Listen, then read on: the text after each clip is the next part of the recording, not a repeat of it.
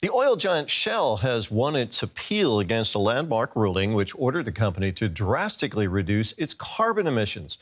A Dutch appeals court has dismissed all claims from the 2021 climate case, stating that Shell was already on track to meet its emissions targets.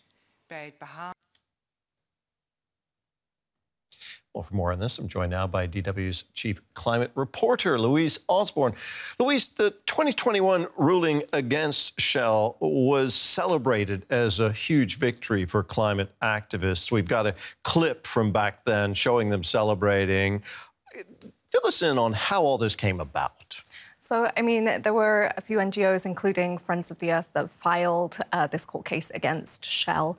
Um, the court that back then ordered that Shell needed to follow worldwide agreements on reductions of emissions um, in line with the climate change that we are seeing and to cut all of their emissions by 45 percent by 2030.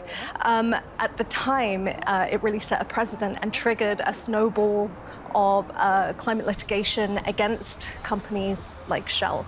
Um, and it was a very significant ruling. Well, now that ruling has been overturned, how significant is this reversal? I mean, it's really significant. It really talks to the responsibility of oil and gas companies when it comes to the emissions leading to global warming. Um, the court actually said today that, you know, they are responsible for some of their emissions. So they are responsible for the direct emissions that they cause themselves by uh, drilling for oil and gas. They are also responsible for the uh, emissions that are caused by the energy that they use, for example, for, uh, for their electricity and, and other things that they are doing. Um, but critically, they are not responsible for the emissions caused by people using their product. So burning oil and gas for, for heating or for transport or, or any of the other things that we use it for. Um, and that is really significant because that makes up a huge majority of the emissions that gas and oil companies have. Um, and if they are not responsible for them, then who is? Mm. And this ruling comes through just as the COP29 uh, climate summit is getting underway in Baku, Azerbaijan.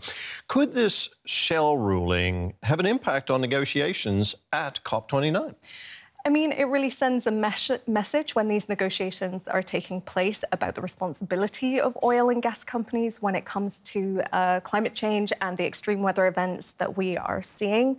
Um, it has an impact, for example, on the targets that uh, countries are putting together to try to reduce their uh, carbon dioxide emissions, uh, which are obviously uh, including companies that are housed within those countries.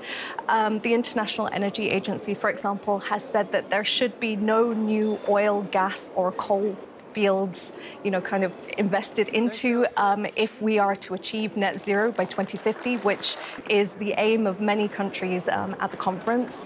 Um, and obviously, that is going to be problematic to get to when companies are still moving forward to, to dig for oil and gas. Um, it also says something about financing.